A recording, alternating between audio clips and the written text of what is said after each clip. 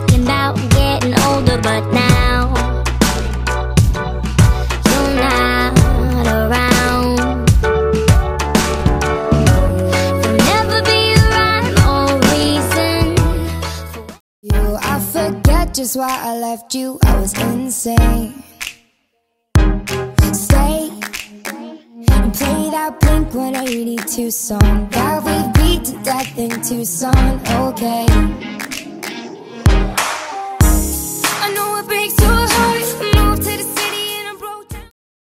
Hey guys, welcome back to my channel. It's Jenelle. This week I'm showing you guys how to make a DIY splattered jacket. I think that's what it's called. Other words, that's just what I'm going to call it. I'm not sure what to call this jacket. But I seen this jacket she was posting a few times and I was just in love with kind of like the retro and like the splattered paint look on it. And she said you can't find it in stores anymore. So that's when the light bulb goes off in my head and says DIY. Beep, beep, beep, beep. Let's just jump right into it.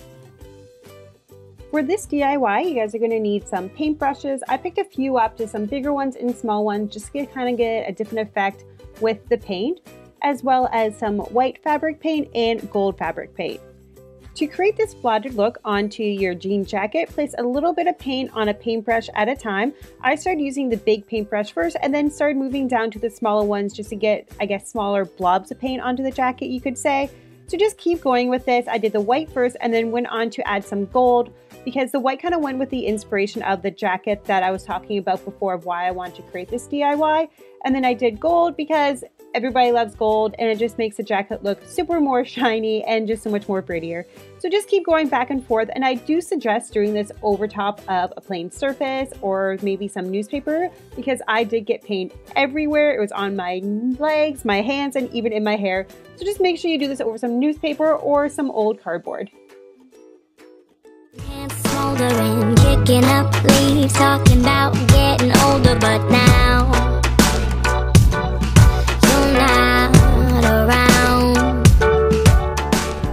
And that was the DIY. I hope you guys liked it and let me know in the comments below what you think of this jacket or maybe you actually like the original one better. Let me know your honest opinion in the description box. Not the description box, in the comment box below. And make sure you give this video a big thumbs up and make sure you subscribe to my channel as I'll be back next week with more DIYs. Thanks for watching guys. Bye.